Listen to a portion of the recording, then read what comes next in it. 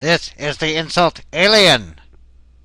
What is this fizz you speak of? Will you interview me on this fizz? You can do a segment of me cutting down videos that you select. Or I could just come and rape you in Uranus, my home planet. Spricket.